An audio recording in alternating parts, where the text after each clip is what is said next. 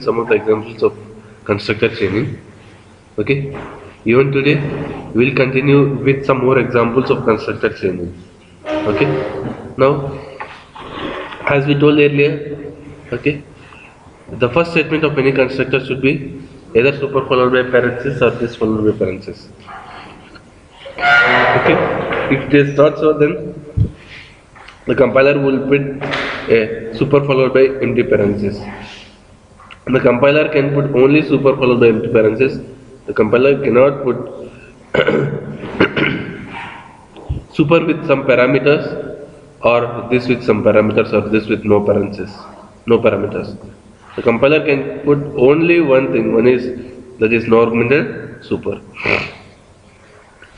For any constructor, for any constructor, okay, the compiler will give for any constructor, the compiler will give super with normal parenthesis, super with arguments if it is not fine, if either super or this is not fine as a first argument, oh, sorry, first statement. And super followed by parenthesis or this followed by parenthesis, which is kept inside the code, should be the first statement. Here, what happened is, first statement is system dot pendulum, the next statement is super followed by parenthesis, which will be a compile time error. A super followed by parenthesis or this followed by parenthesis should be the very first statement of the constructor. Now, if somebody asks you like, can we call a constructor without using the constructor name? Can we call a constructor without using the constructor name? Yes or no? Yes. How we can call a constructor without using the constructor name? Either using super or this followed by parenthesis. But we can call so only from a constructor. We can call super followed by parenthesis or this followed by parenthesis only from a constructor. We cannot call super followed by parenthesis or this followed by parenthesis from a method. Okay? Just note it down like we can call a constructor using super followed by parenthesis or this followed by parenthesis.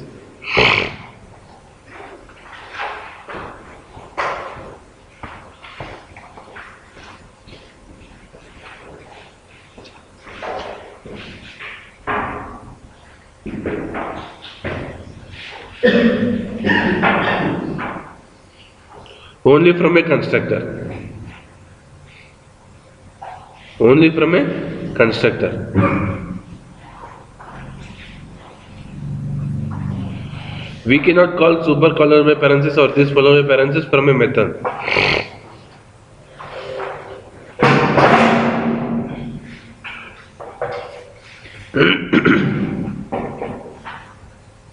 we cannot call super followed by parenthesis or this followed by parenthesis from a method.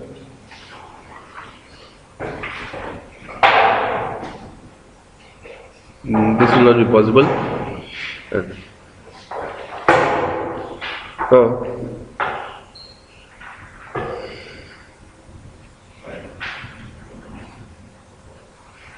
Let's consider that person has ID name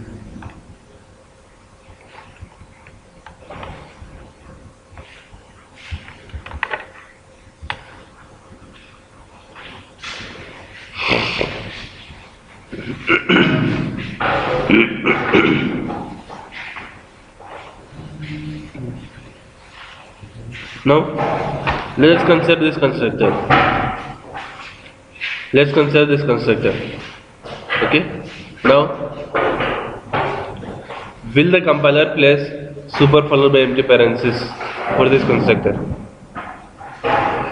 Will the compiler place super followed by empty parentheses for this constructor? Yes or no?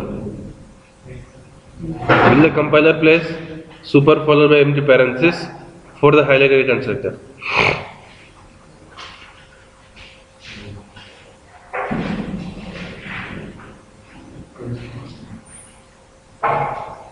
Yes or no? Will the compiler place super followed by empty parenthesis for this constructor? Definitely it will place. Yes, because what I told? If the first statement is either super followed by parenthesis or this followed by parenthesis, then only the compiler will not place this. But it is not super followed by parenthesis, it is super dot something. This will not be considered a constructor calling. Okay? So, super followed by parenthesis or this followed by parenthesis is considered a constructor calling. Just we are trying to refer the attribute of the superclass using Super.id means it's trying to refer the person class attribute with the name id. Okay? Here super means it is a keyword which is used to access the super class members. Both this and super are keywords and this and super are non-static reference variables.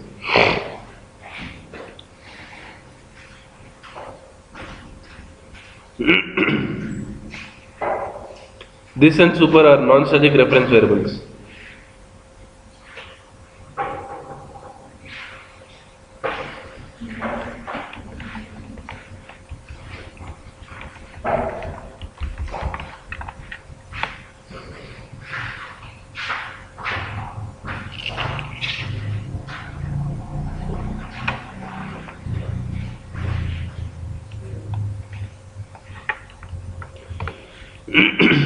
No?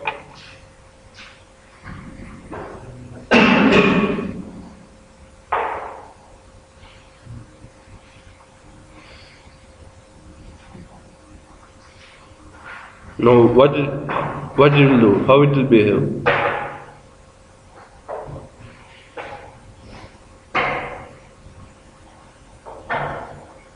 Just see the constructor.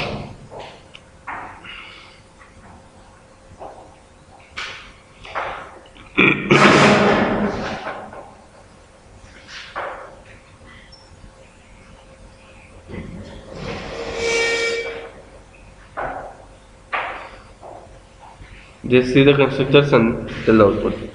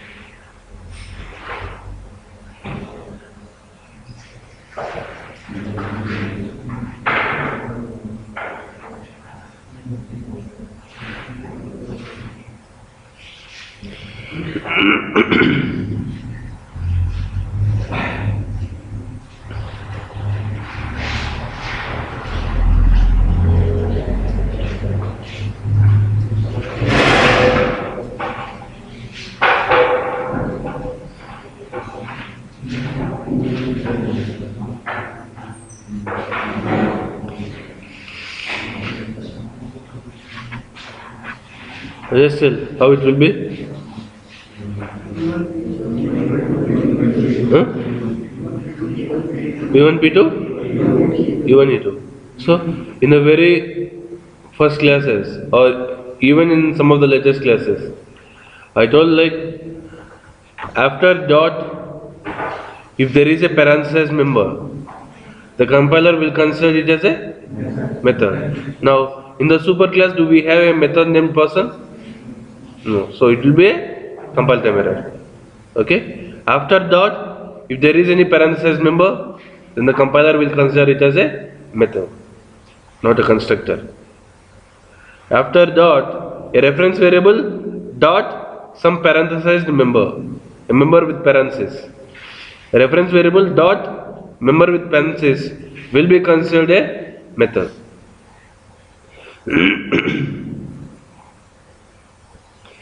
A reference variable dot a member with parenthesis will be considered a method.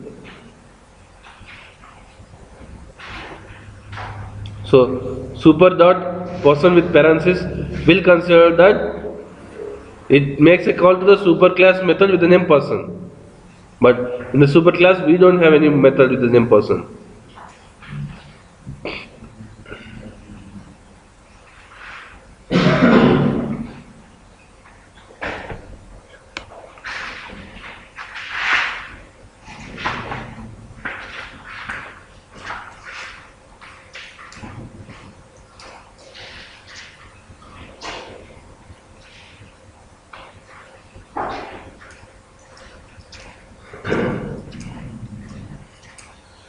The we don't have any method with person. So it will be a compulsory.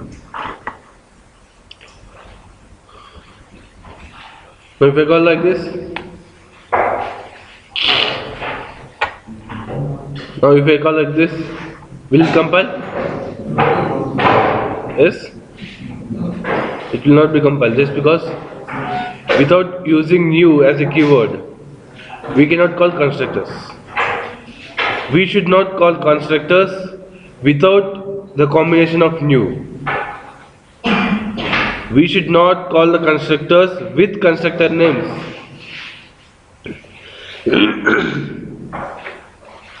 we should not call the constructors with constructor names without using new.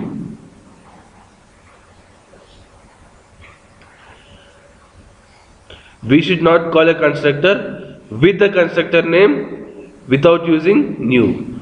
So, if you are executing a constructor with the constructor name, definitely it should be combined with new. But if you are executing a constructor with super or this, then new is not required. We are executing a constructor with super or this, then new is not required. But else, if you are executing a constructor with the constructor name, definitely we should combine that with new. Otherwise, it will be a compile time error.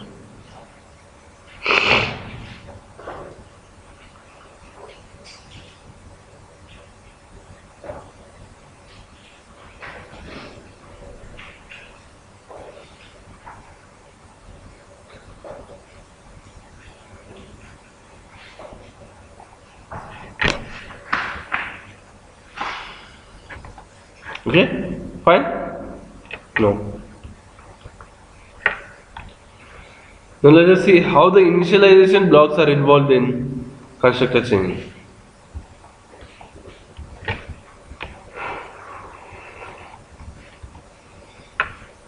Let me call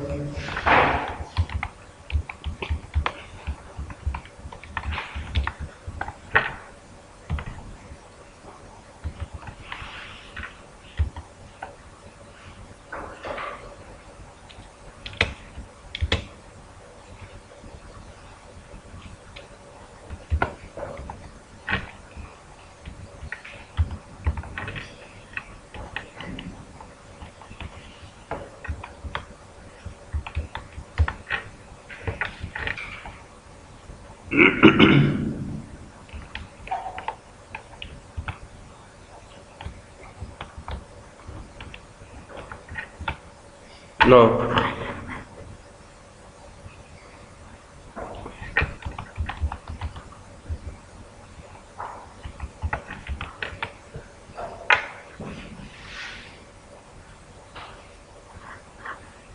It's not required to have a string on name.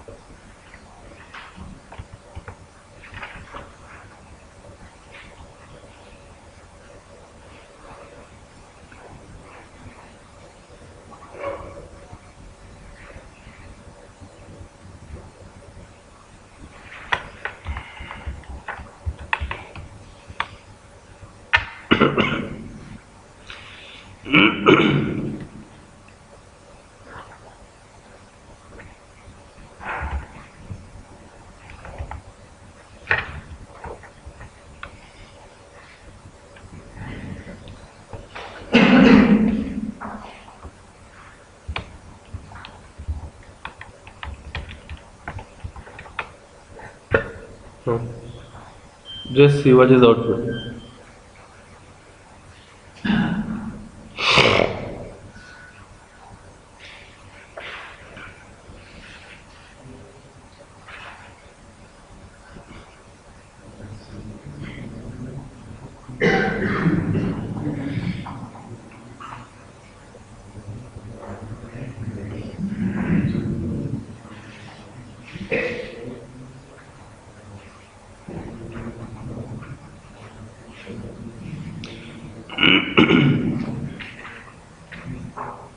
This I have shown you in the object creation also.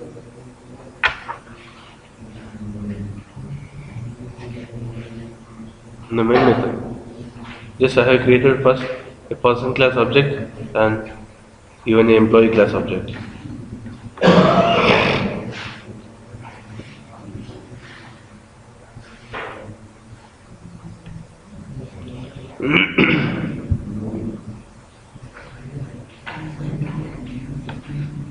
Now, what is the output?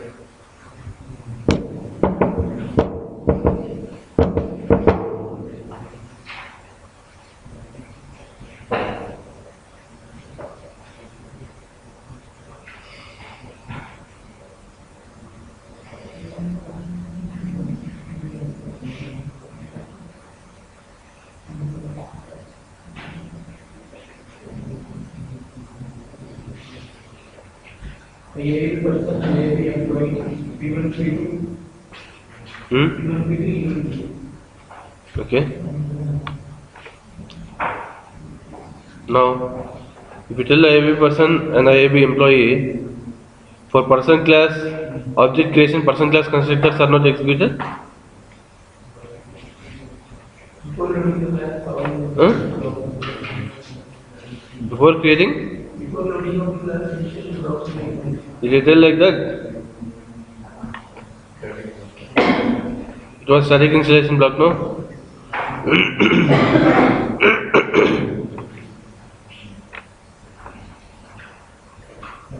when the instance initialization block is executed?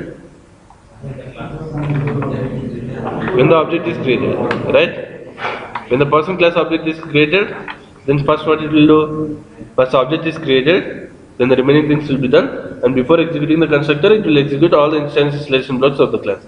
Now, first IAB person is executed, then the constructor is executed. But before executing the constructor, before executing the constructor, then what it will do? Here, we should go for the person constructor which takes 10. First, actually, this constructor is being executed, right? As this constructor is being executed, it should uh, it should go to this place.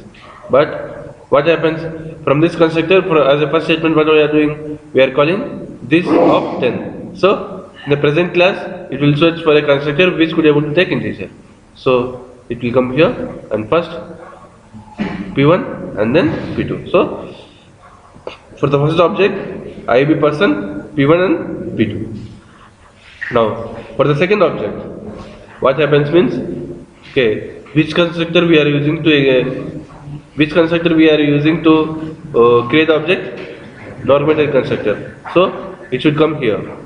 From here, okay, it will come here to this constructor.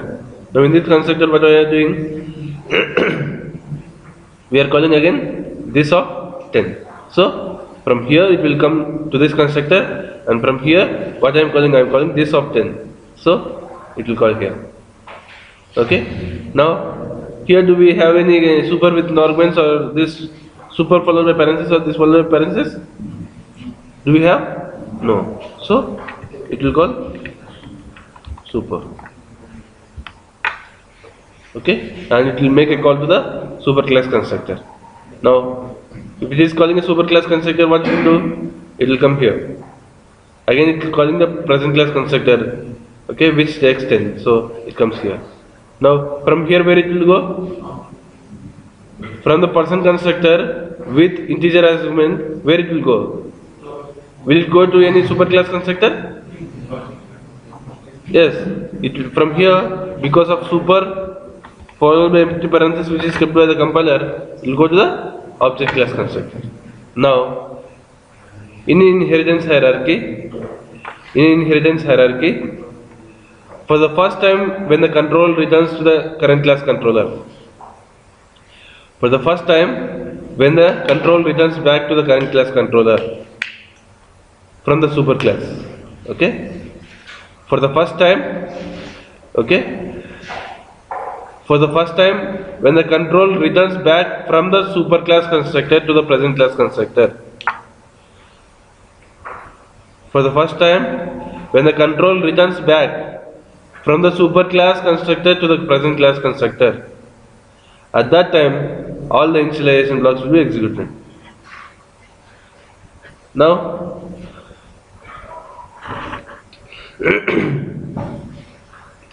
from where the control is returned back from the object class constructor to person class constructor? At which place? The control is returned back from the object class constructor to person class constructor. At which line? At this line, we are calling the object class constructor and the control is returned back. So, before executing the first statement, what it will do means it will execute the initialization blocks. So, first, let me tell again this. First, because of new employee, first it will come here. Okay? But before executing, uh, because of uh, this, this followed by parenthesis, okay, it will come here. Because of super followed by empty parenthesis, from here it will come to the person class normal constructor. From the person, because of this followed by parenthesis where we are sending 10, it will come here. And because of super which by followed by empty parenthesis which is kept by the compiler, it will go to the object class. Now, for the first time, when it will reach it will return back from the object class constructor. For the first time, when it will return from back from the object class constructor, or from where it will to where it will return back from the object class constructor, it will return back to 13th line. So, before executing the first statement of the constructor, all the initialization blocks will be executed. Okay, so in a chaining, in a chaining, the initialization blocks will be executed. The initialization blocks will be executed when the control returns back. When the control returns back from the superclass constructor. In the chaining, the initialization blocks exe- are executed when the control returns back from the superclass constructor.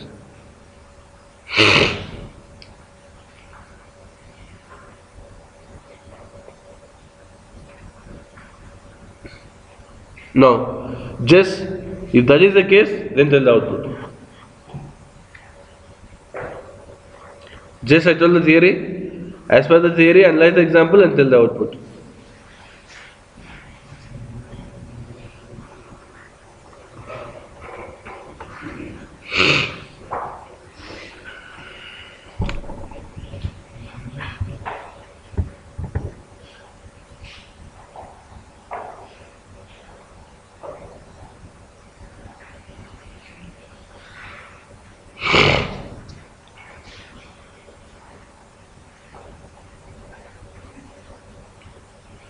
The initialization block of any class will be executed when the control returns back from the superclass constructor in the constructor chaining. That's what I told, and as per that, just analyze that and answer.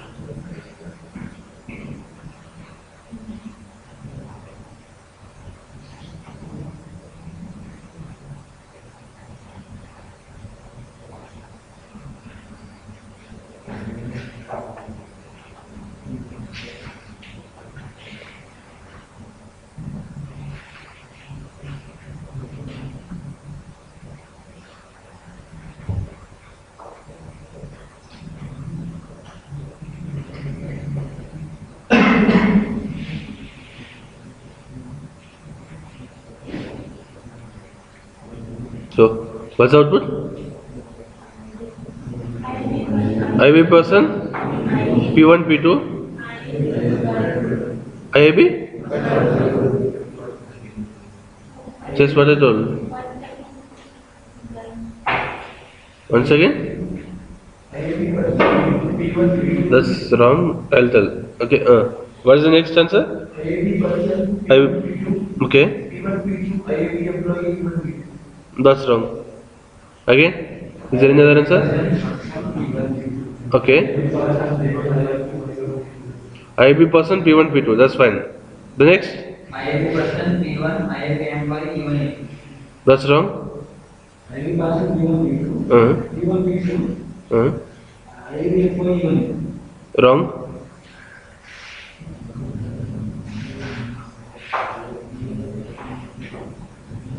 Is there any other answer? IAB person, P1, IAB employee, P1, P2. Wrong. IAB person, P1, P2. IAB person, P1, P2. IAB employee, P1, P2. That's correct. Okay? What I told? For any object creation in the chaining. Okay? Let me explain why that answer is correct. Let's consider the person class. the person class I have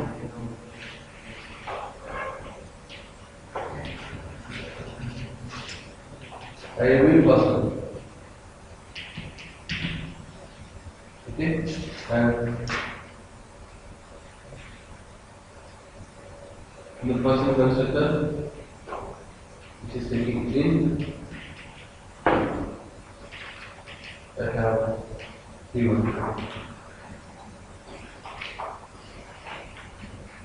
Person constructor which is not I have P2. Right? And if you to the employee class, the employee class, I have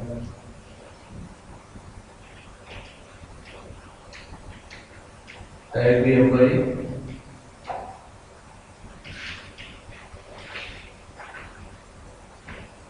constructor, which is taking equal development. I have one.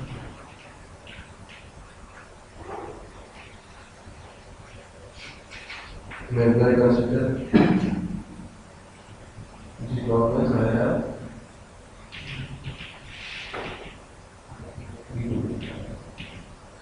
have done is I have created a new post number.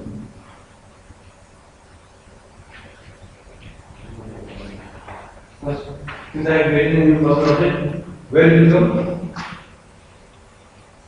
It will come to this constructor.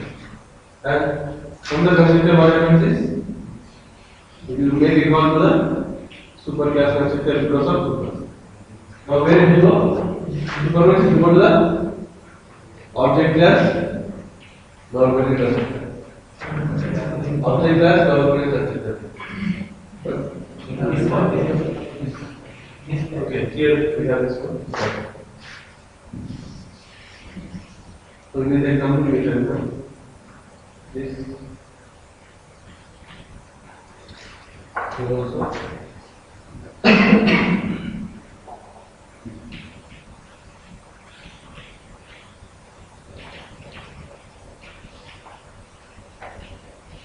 So, first we are calling person class constructor.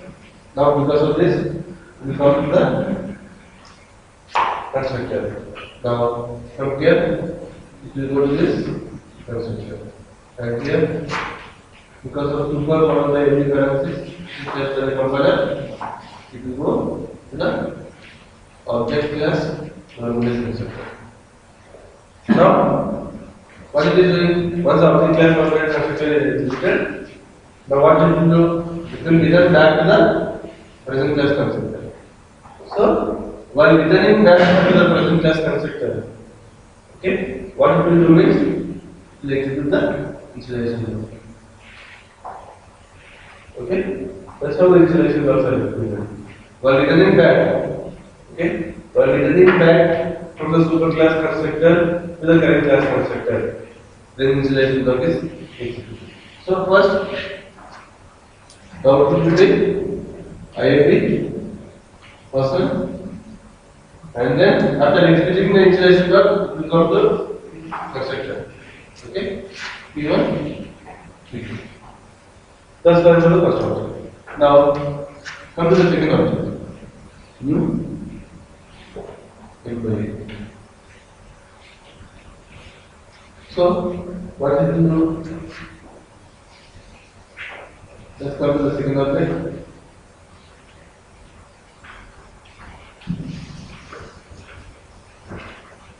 Let's come to the second object. What's the second object?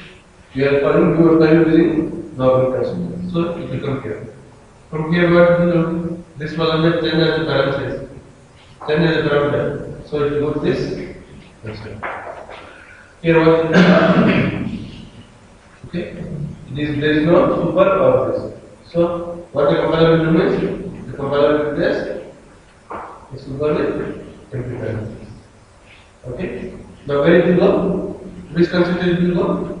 You go to the first constructor with solver Now, again from here, because of this polynomial balance, where balance is exempt, where, where will go? And because of super which is placed by the compiler, again will go to the level. Now, it is returning back from the super class constructor to the first class, again the block will be. So again, again, IIB person,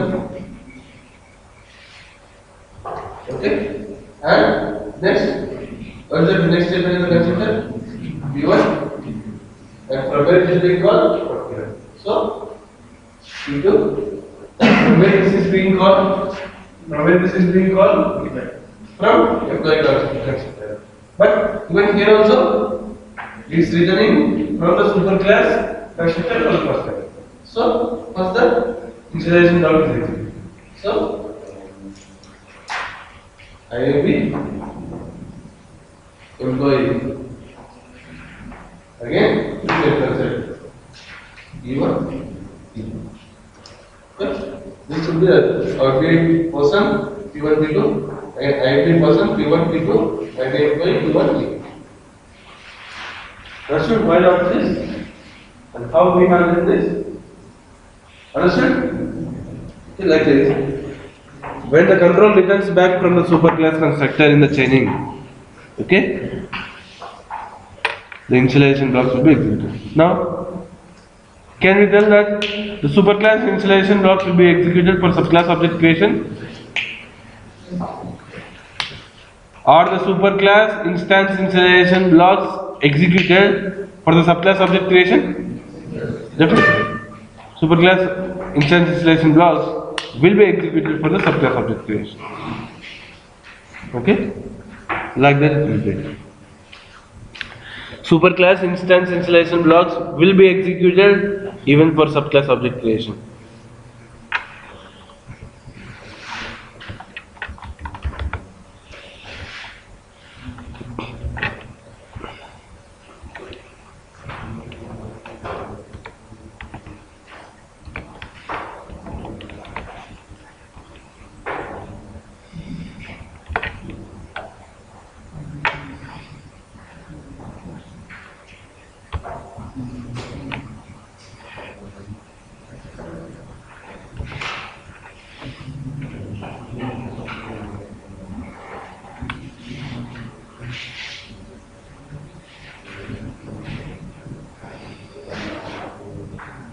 Just now I'm creating only employee class object. I'm creating only employee class object. Okay? And now in the employee class I have a static initialization block. With name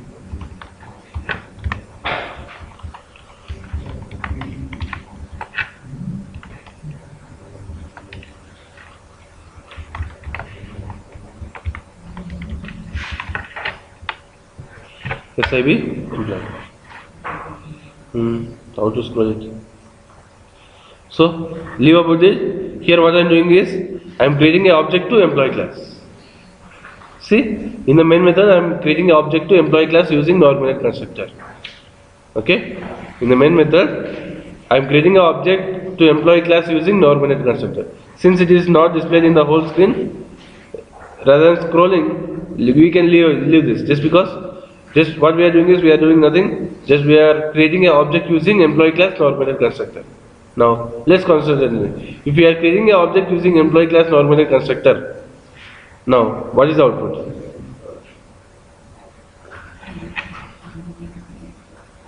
Just down the output and tell the answer. Just if we are creating an object using employee class nominated constructor, what is the output?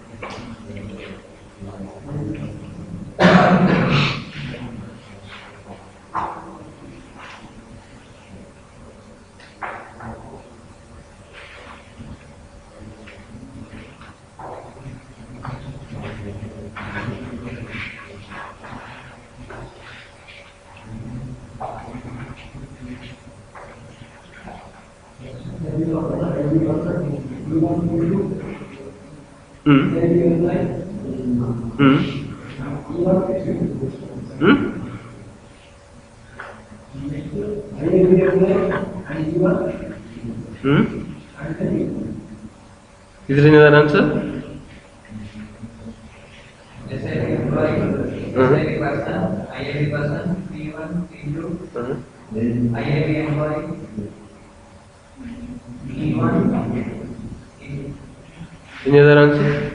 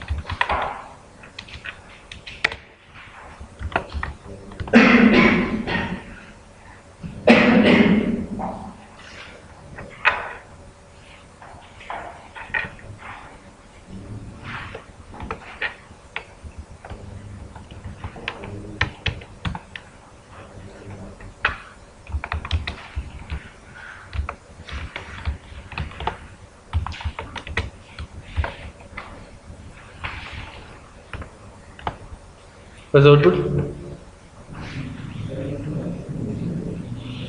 SIB person, SIB employee, and then only the instance initialization block. Okay? See, if we create a subclass to the object, sorry, if we create an object to the subclass, first all the superclass and the subclass static initialization blocks will be executed. Then only the execution of instance initialization blocks will be started.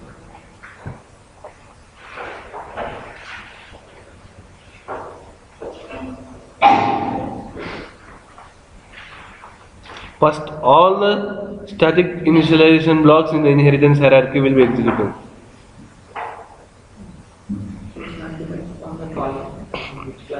Hmm? Doesn't depend. But only when, only when we have not used that class for execution. Let's consider that if I created new person, already we have used person class constructor for execution. Already if we have used person class for execution, then what happens? Already for the first execution itself,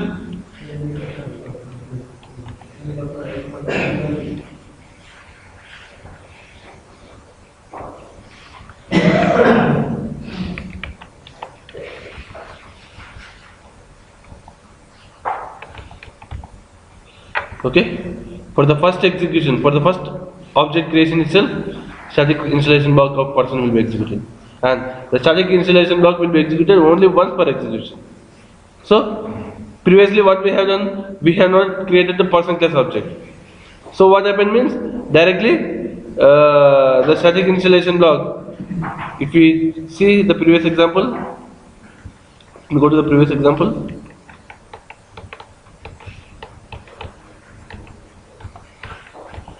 Let me let me think that only we are creating an employee class object. Then what happens means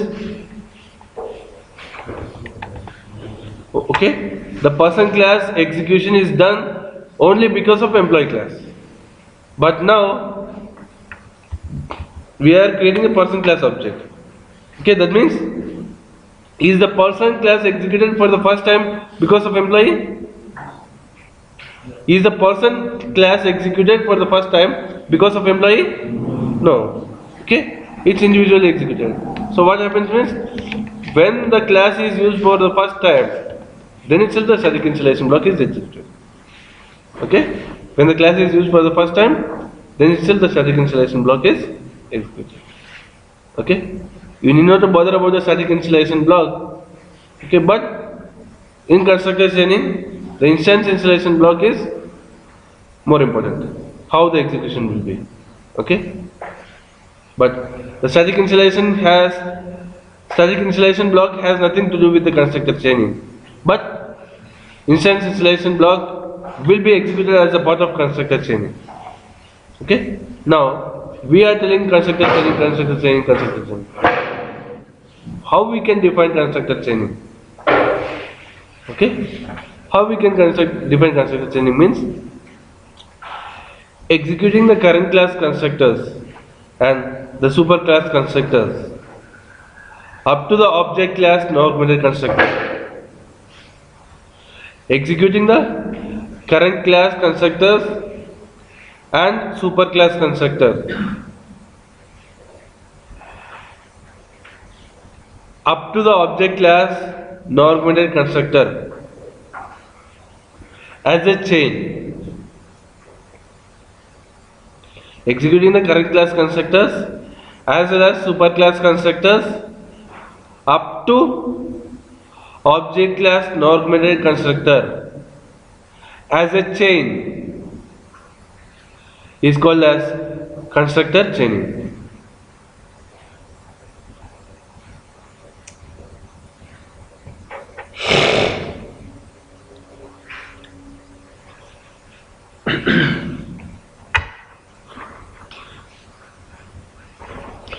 Executing the present class constructors as well as superclass constructors up to the object class non-augmented constructor as a chain is called as constructor chain.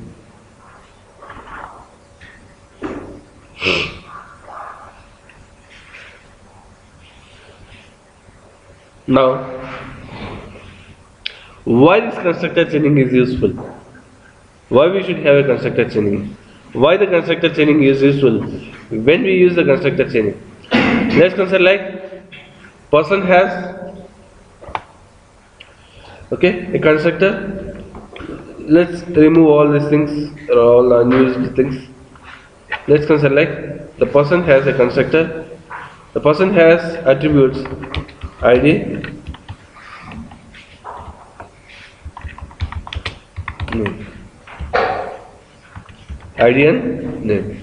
Now, let me have a person constructor.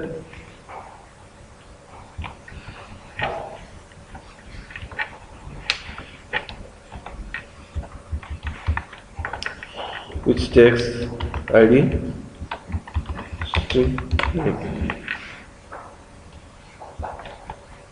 which has this dot id equal to id this dot name equal to name. Okay? Now what we are doing in the constructor? We are assigning some values to the attributes. Okay now even in the employee, let's consider like the employee concept.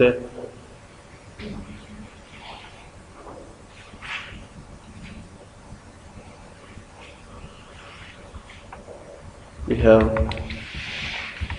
employee number. We have employee number.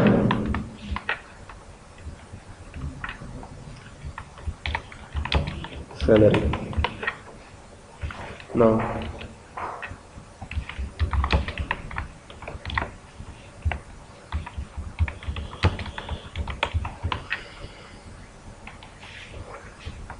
let me remove all the stuff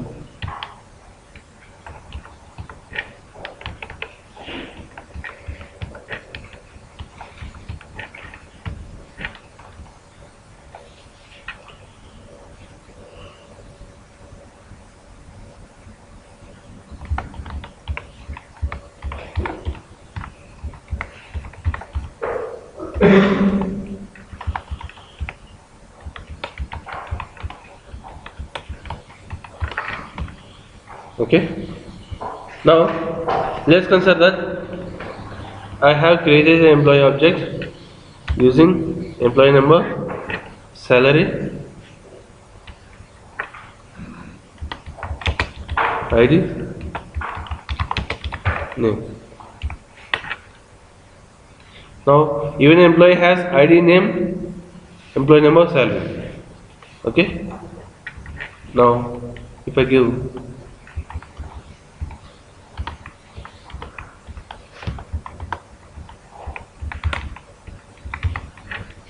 let's consider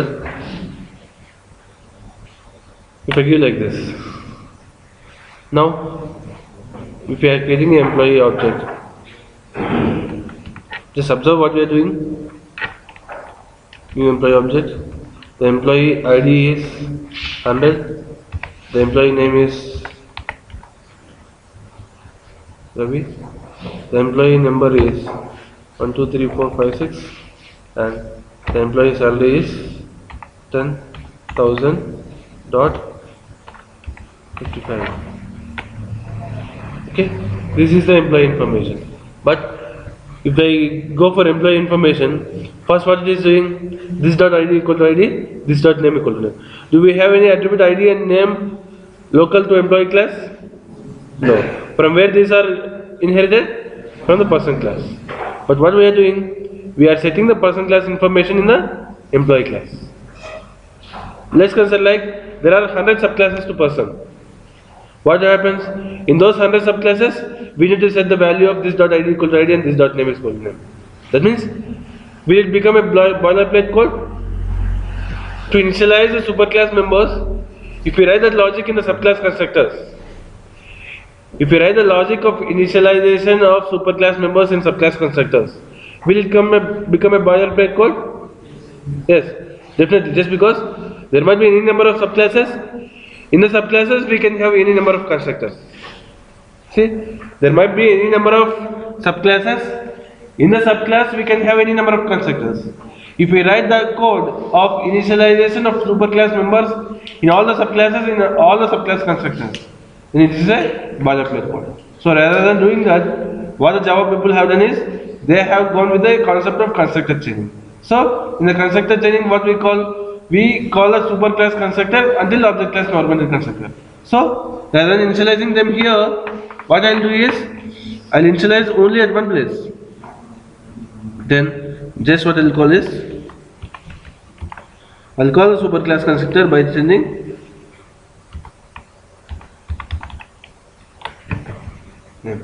So it can be reused. This code can be cleaned up, can be clean as well as can be reused. This code will be clean as well as can be reused. So and at the same time there are some instances where we can make it private. There are some instances where we can make it private. We should make it private as per encapsulation rules. Now if we make it private if you use this and if you make it private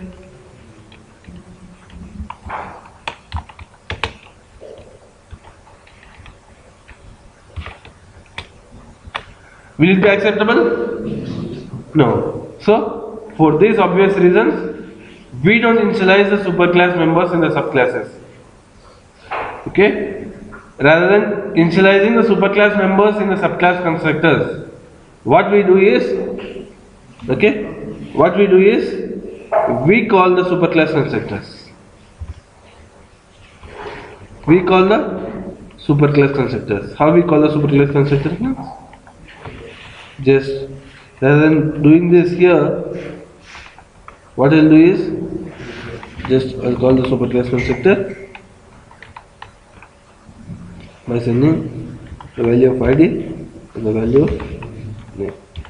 So the attributes of the superclass will be initialized only in the superclass constructor. We can achieve the level of partition. That's one advantage. Okay, the superclass members will be initialized in the superclass, subclass members will be initialized in the subclass.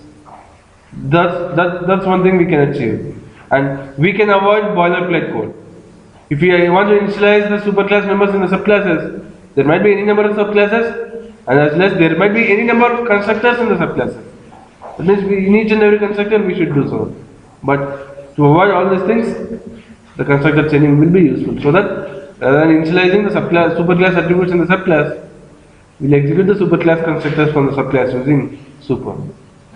So we can reuse the superclass constructor logic. We can reuse the logic in the constructor of the superclass. Okay? That's the basic advantage of constructor chaining. Reusing the superclass constructor logic.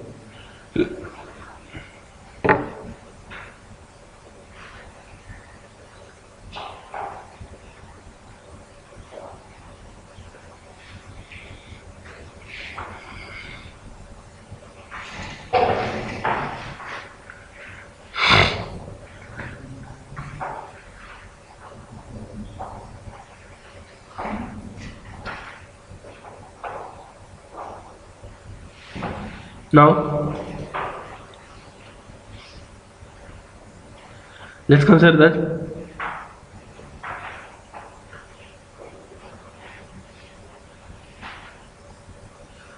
Yeah.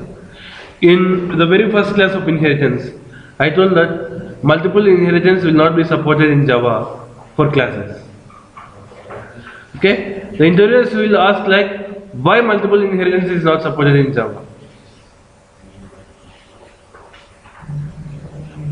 Then I don't like, okay, at that point of time I don't like, you could not able to understand if I discuss this at this point of time, I'll discuss it later and the time came. Just as per this analysis, why do you think that multiple inheritance is not supported in Java?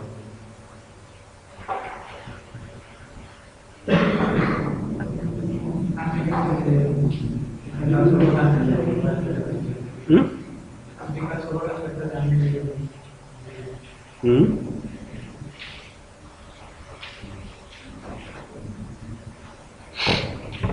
Why do you think that multiple inheritance is not supported? Hmm? Then both they have the same data members. Then both will be. Then when the class particular member, then it goes naturally it will. To avoid the ambiguities in the constructor chaining. Simply we can tell that to avoid the ambiguities in the constructor chaining. See, let's consider like if Java supports multiple inheritance, like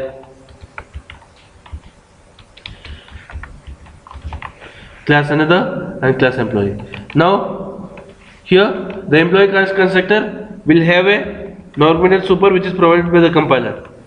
Now, both the person class as well as the another class has a if multiple inheritance is supported, what happens? Let's consider like if multiple inheritance was supported, it's not supported. Let's assume that multiple inheritance is supported. If we assume multiple inheritance is supported, then what happens? See, extends person as well as another. Now what happens? Okay, uh, we have in the employee constructor we have super followed by empty which is placed by the compiler. Now, to which constructor it will go? Will it go to the person class constructor or another class constructor? Is ambiguity. Just because both person class as well as another class has a normative constructor. So to avoid that ambiguity, multiple inheritance is not supported in Java for classes. Why multiple inheritance is not supported in Java for classes means to avoid the ambiguity in the constructor chaining. To avoid the ambiguity in the constructor chain.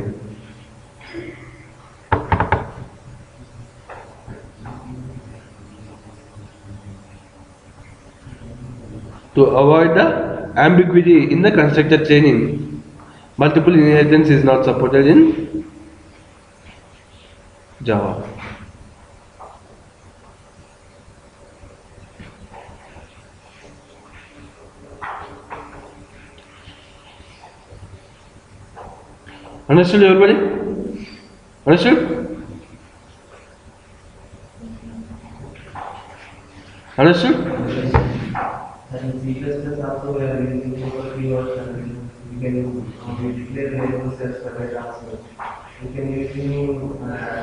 labels using keyword also. Hmm.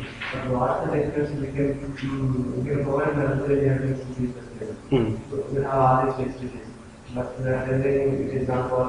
See, if multiple inheritance is there, if multiple inheritance is there and super keyword with parenthesis is available, then in C++, which class constructor is executed? I don't know about C++, I'm asking you. In C++, if this is the case in C++, which constructor is executed? Let's consider like this is a program of C++. Will it execute another class constructor or person class constructor?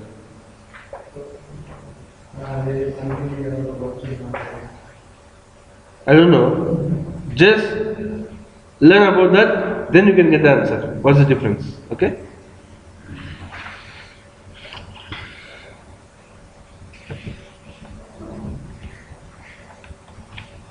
Understood? Everybody?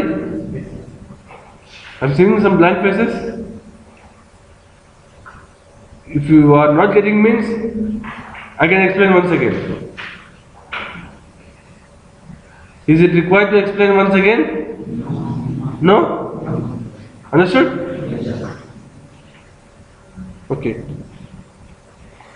Multiple inheritance in Java is not supported just because Java supports constructor chaining. Okay? In order to avoid the ambiguities in the constructor chaining, okay, multiple inheritance is not supported. and multi-level inheritance is supported. Multi-level inheritance means, okay, at one level employee is extending to person, another level permanent employee is extending to employee. So this is multi-level inheritance. Person, employee to person, and permanent to employee to employee. This is called multi-level inheritance. Multi-level inheritance is supported. Multi-level inheritance means there will be one class one class is extending to another class, that class will be a super class to another class, like this. Now, if you see this example, permanent employee to employee, employee to person, person to object. So that is multi-level inheritance. Now, uh, because of multi-level inheritance, what happens? Permanent employee will be a subclass to person, permanent employee will be a subclass to object. Thus, how multi-level inheritance will be. Okay. Now, if a person class is a subclass to object, can we call permanent employee as a subclass to object? Yes or no? Yes. Just because of at multiple levels the inheritance will be applied. So, person to employee and employee to permanent employee. So, at multiple levels the inheritance will be applied. It's not like inheritance will be applied only at single level.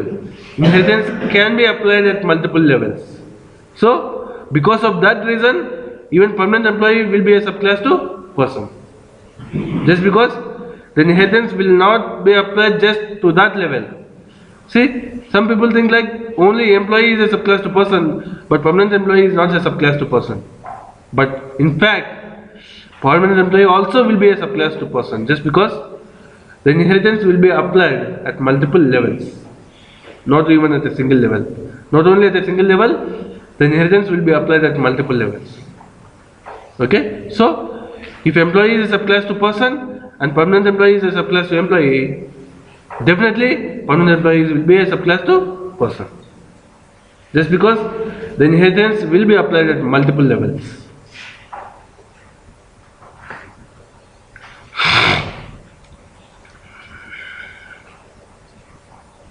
This what multi multi level inheritance.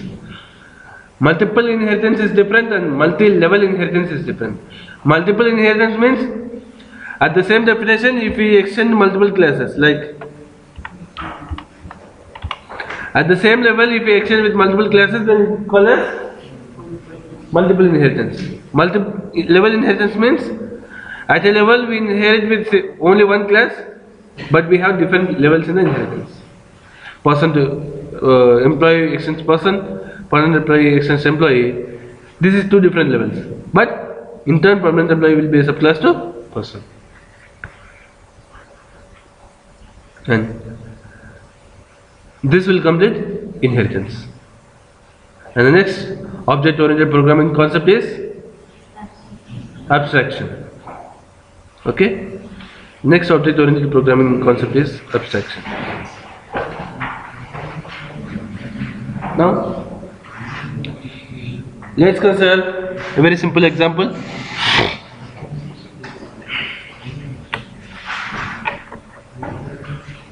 Let's write a very simple example.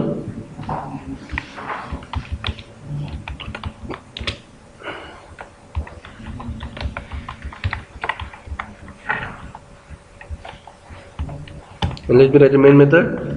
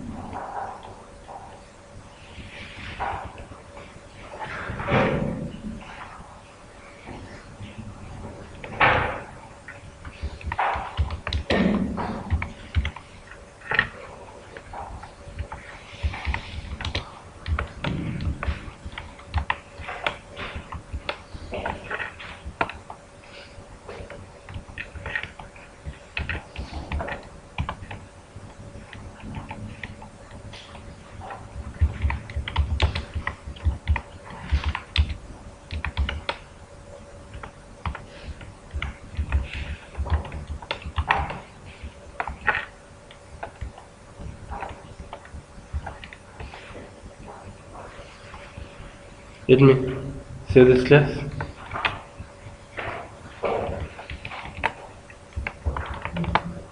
Now we have, let's consider like, rather than making it shape, make it my shape.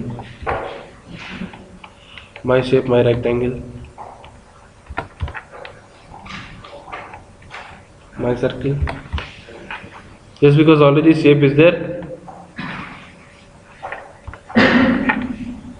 in the library so rather than using that I shall use this I have a class my shape let's consider like this shape rectangle circle. Okay. Now let's return. All of you know mathematics, right? Remember? What's the formula for calculating the area for rectangle?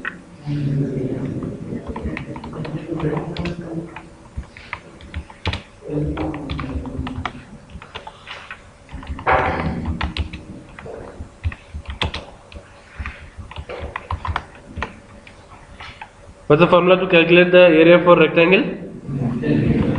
Return length into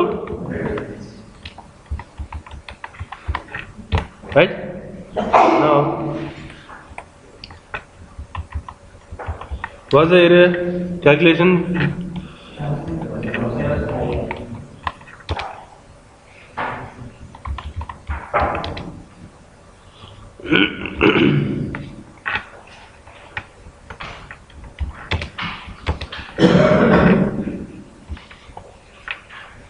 since pi will not change from one circle to another circle. Pi will value will not change. That i'll be changing. Wait for one minute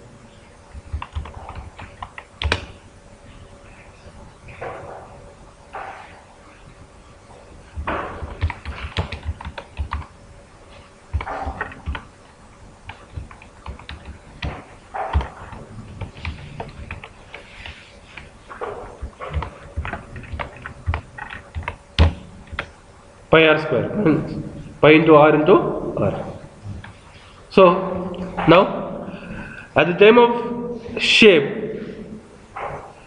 at the time of shape let's consider like we have shape class. At the level of shape do we really know what shape it is? At the time of shape or at the level of shape do we know do we really know what shape it is? Yes or no at the level of shape we don't know what shape it is. Okay? And can we calculate the area without knowing what is the shape? Can we calculate the area without knowing what is the shape? Just because one shape has one formula to calculate the area. So what we have done for each and every class we have overridden the calculate area method. Just because each and every shape rectangle will have one formula to calculate the area and circuit will have one formula to calculate the area so I have declared the method and I have overridden the method in the subclasses. Just because each and every shape will have its own formula to calculate the area. And so these kind of scenarios we use overriding. Just because by default it will be something. And for the specific specialized entity for the specific entity the formula may change for the specific entity the code may change. So rather than changing the whole structure of the method whole syntax of the method what we'll do is rather than changing the definition of the method we change the body of the method. This is what called overriding. This is why overriding is used. Okay? If the superclass has one default behavior and the subclass has a specific behavior. Then rather than changing the method what we do is we make the method signature the same but method body different. Superclass will have some default behavior but subclass will have its own behavior. In that case what we do is we override the method. But at the class at the uh, at the level of my shape now do we have any concept of default area? Just think not don't think about the java application think in the mathematics perspective. Do we have any concept of default area? No. There is no concept of default area. Now if we don't know how to define the area if we don't know what is the definition okay we won't write the definition block okay? We just declare the method. If we don't know how to define the method then what we do is we just declare the method without defining it. Okay? Now what we have done? Did we uh, define the method? Did we give any method body here? Did we give any method body here? No. We did not give method body. Okay? Then if you want we can just declare the method without defining. Just because we don't know what is the definition for calculate area at the level of shape. At the, at the level of shape, we don't know how to calculate the area. If we don't know the definition, then we won't define that method. Just we'll declare the method. We don't know the definition method. If you don't know the definition of the method, we won't define the method. Just we declare the method. But let me try to compile this.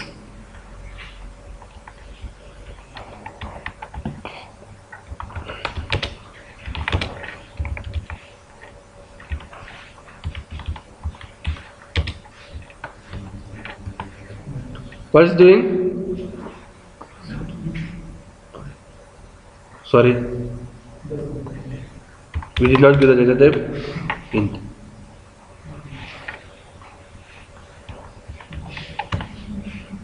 Now, error in writing abstraction demo. Sorry, it's dot s slash classes.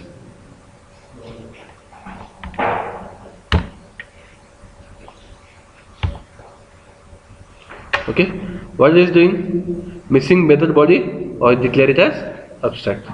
Okay, if we just declare a method without definition, then the method should be abstract. If we just declare a method without definition, then the method should be abstract. Either we should have the definition for the method or we should have the abstract keyword. Let's consider like if you are defining the method.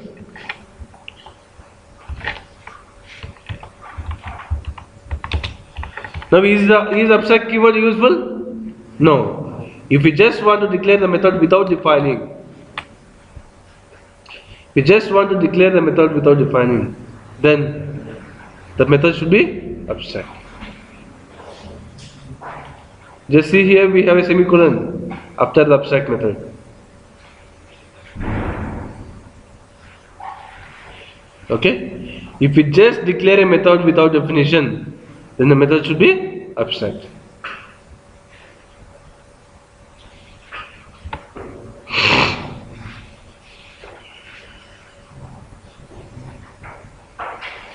If you just declare a method without definition, then the method should be abstract.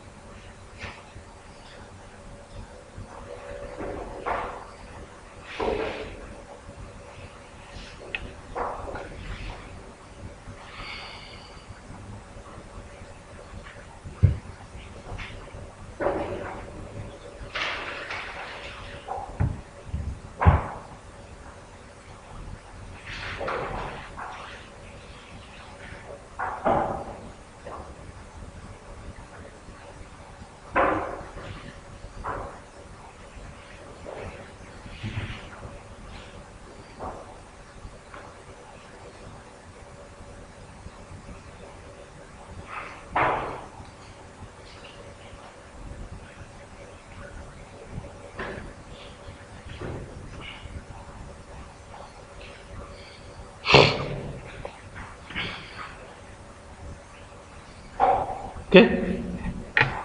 Now, let me try to compile this.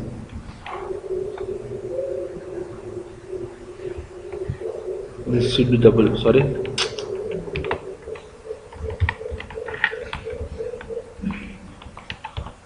Now what I'm doing? What is telling? What's the error? My shape is not abstract and does not override the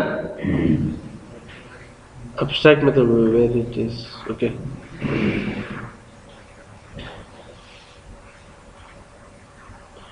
override the method calculate area in my shape. So why it is giving compile time error means there is a rule in Java that if at least one method of the class is abstract, if at least one method of the class is abstract, then the class should be abstract. It is a rule in Java that if at least one method of a class is abstract, then the whole class should be abstract. The meaning of the word abstract is incomplete. Okay? Just the meaning of the word abstract is incomplete.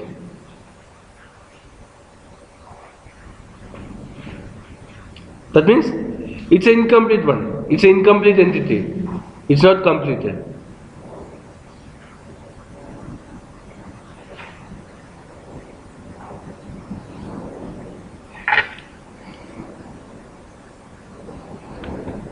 Now, this will be compiled successfully. Okay, this was compiled successfully. Now, let me try to create the object to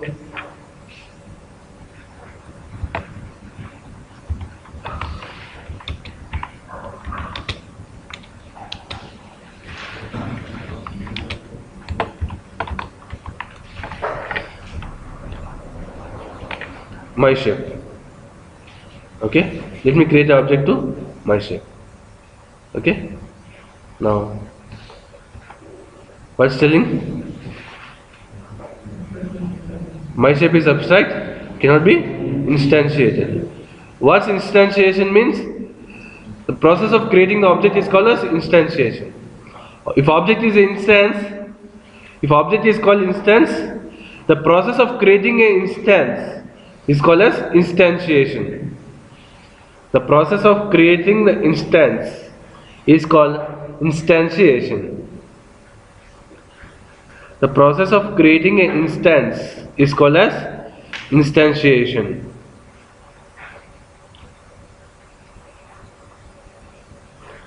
And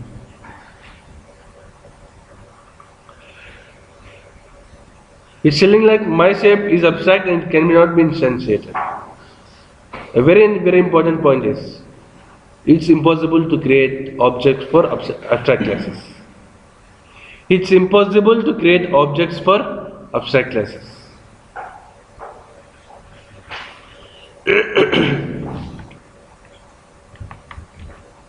it's impossible to create objects for abstract classes.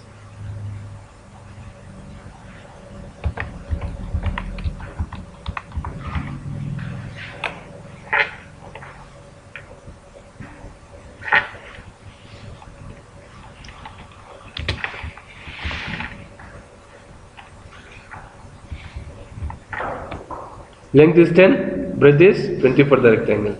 Now, can you call like this?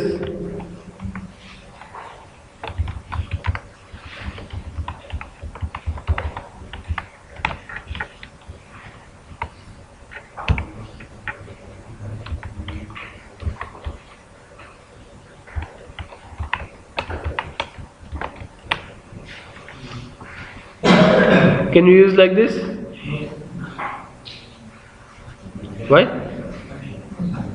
better methods. Hmm? You must use you must use setters and getters.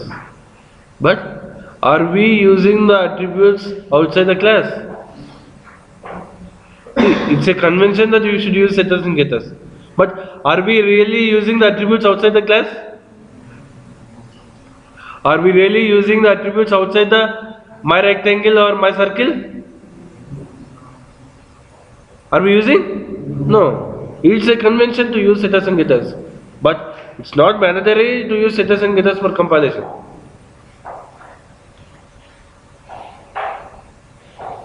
Now, what happens?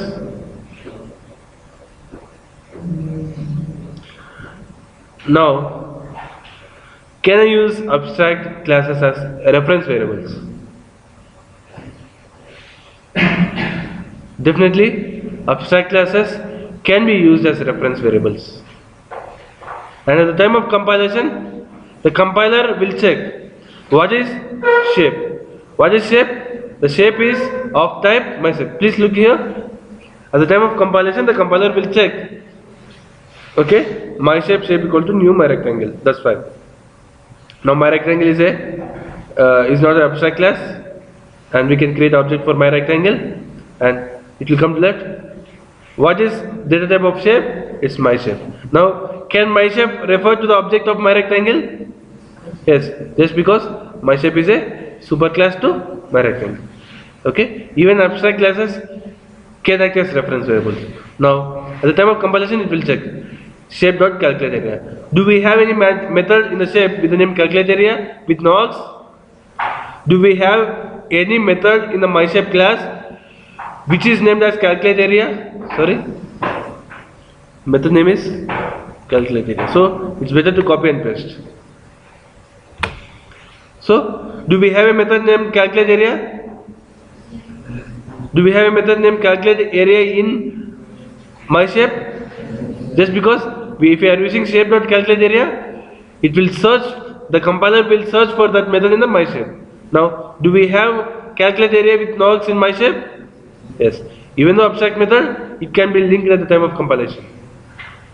Even though it is abstract method, even abstract methods can be linked at the time of compilation. Now, at the time of execution, what happens? If I call shape.calculate area, the runtime environment will check to, to which object the shape is referring to. To which object shape is referring to? To which object shape is referring? Rectangle. Now, is there a method overridden in the rectangle? Yes.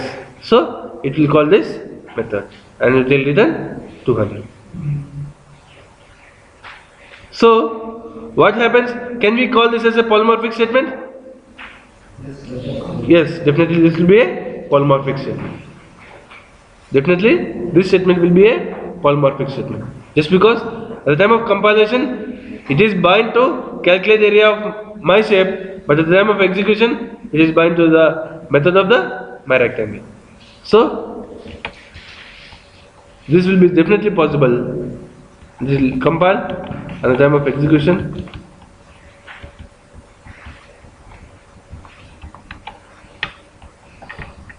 Java space abstraction demo. What's the output? It's 200. Just because 10 into 20 will be 10 into 20 will be 200. So it is giving the output as 200. Now let me not calculate the let me not define the calculate area. Now what's the output now?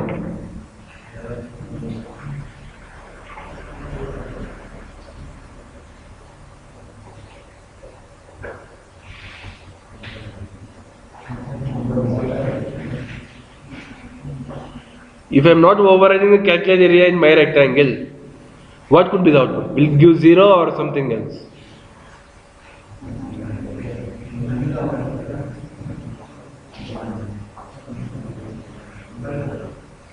Okay?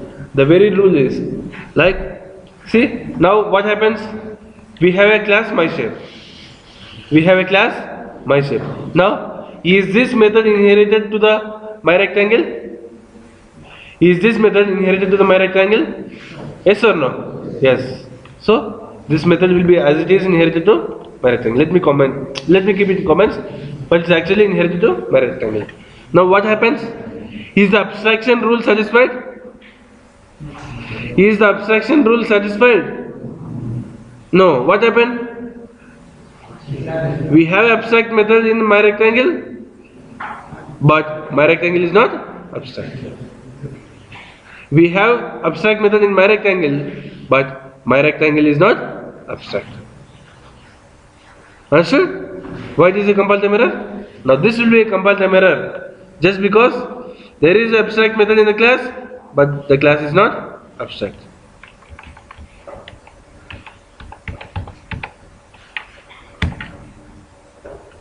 Okay, the class is not abstract. Now let me make the class as abstract. Now, if I make the class as abstract, will it compile successfully? If I make the class as abstract, will it compile successfully? Yes? Paka?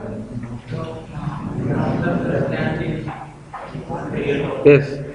Just one minute back at all, we cannot create an object to abstract class. But my rectangle is abstract class. What we are doing? We are creating object to my rectangle. Will it be compiled? Will it be compiled? No, it will not be compiled. Just because abstract classes cannot be instantiated. we cannot create object for abstract class. We cannot create object for abstract class. Okay? So it will be a loop where it will end and when it will end. We cannot create object for my rectangle. Okay? Sorry? We did not keep this is abstract. Sorry, sorry. After class we should not keep abstract. First abstract then class. First abstract then class. That's a problem. See what happens is my rectangle is abstract cannot be instantiated.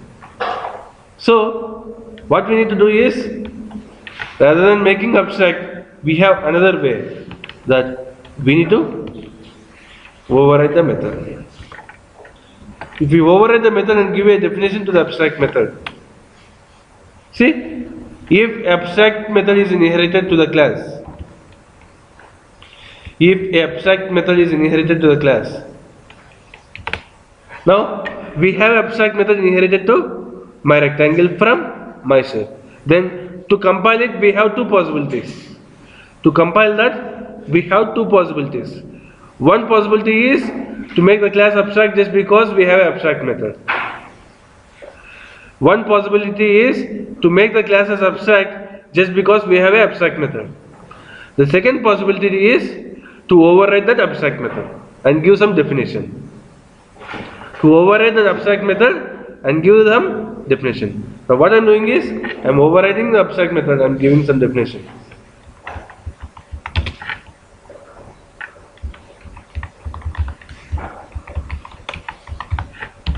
Now will it be compiled? Yes or no? Yes, definitely it will be compiled. Just because, see, we should do either of the two things. We should do either of the two things. When the abstract method is inherited to the class, we can do either of the two things. One is to make the class as abstract. Second one is, okay, to override the abstract methods. We can do either, okay. We can uh, make the class as abstract and we can override the abstract methods. But if you make the abs- class as abstract, what happens? If you make the class as abstract, then we can't create the object for the class. So, what we do is, we write some definition to the abstract methods. We write some definition to the abstract method by overriding the abstract method. We write some definition to the abstract method by overriding the abstract method.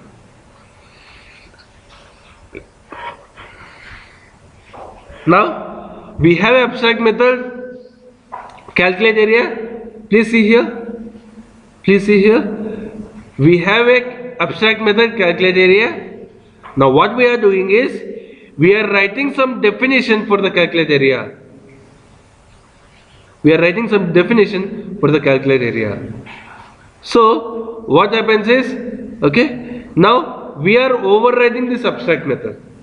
If we have overridden method and inherited method which one will be considered definitely it will consider the overridden method only. Okay? So we have two possibilities to compile to make the class as abstract or to override the method and give some definition. But if we make the class as abstract we cannot create object to the class. So what we do is we override the method. And overriding a abstract method is called as implementation.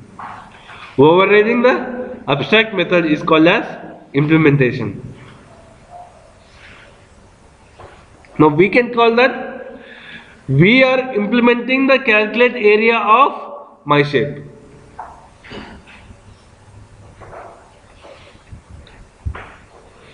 Just we can call that here in my rectangle we are implementing the calculate area of my shape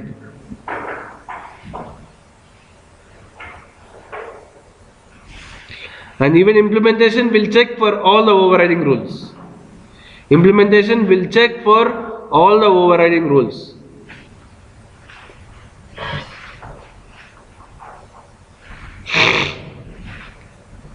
Sir, can I give matter definition in the abstract class? Hmm? Then I need any method. The, as we go on, we'll discuss all the things. Okay?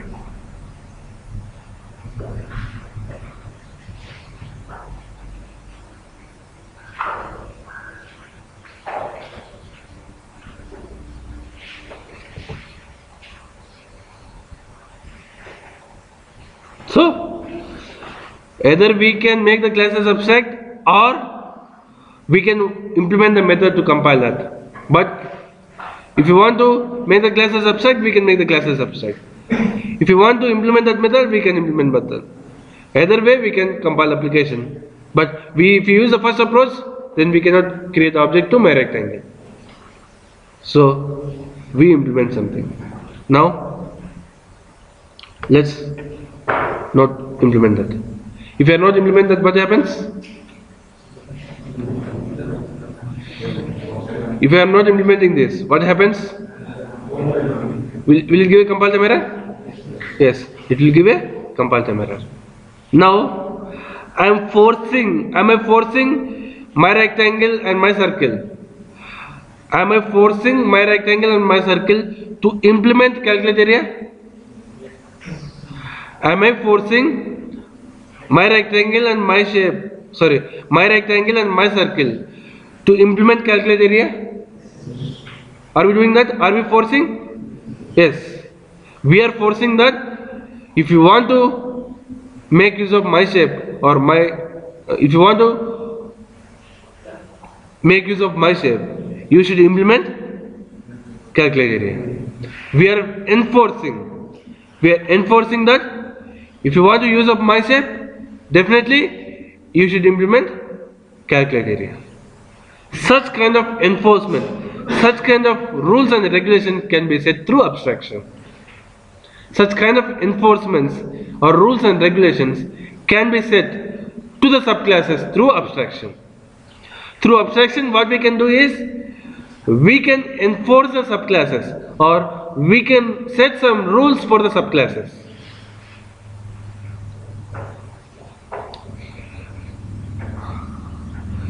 Using abstraction, what we can do is we can enforce or we can set some rules for the subclasses.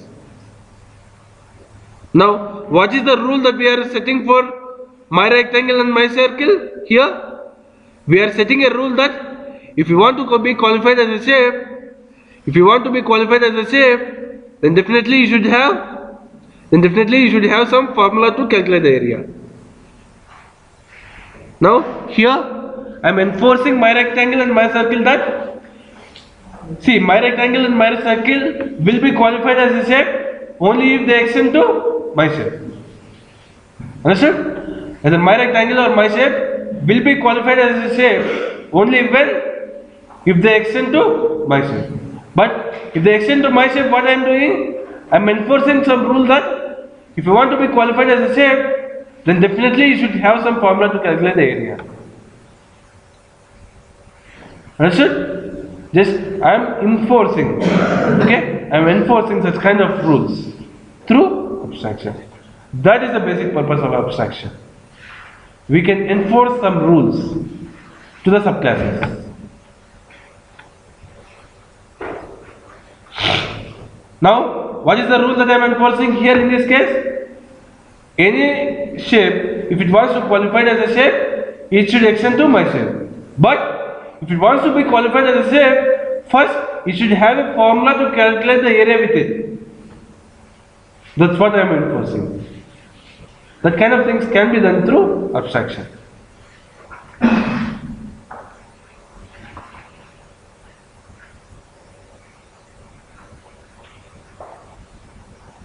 And there are several things to be discussed in abstraction. Okay, that we'll discuss in tomorrow's class. Tomorrow's class, first we'll start with abstraction, and there are lot many rules in abstract classes that we'll discuss in depth, and then we'll discuss about a small concept named final. Final will be a keyword, and why final will be used, when final should be used, where final should be used. Once abstract is completed, then we'll discuss final. And once final is completed, we'll discuss about interfaces. why and how interfaces will be used. And tomorrow, most probably, abstract classes and interfaces will be completed. Okay? And I, I forgot to tell one thing like next concept will be on packages. Okay? How what are packages and why packages are used. And once the package is completed, then we can switch to exception handling. Tomorrow's class will be the same time, 6. Okay? Just if it is 6 means try to assemble at 6. Okay? We are wasting at least 15 minutes a day, which should not be. So, if it is 6, try to assemble at 6.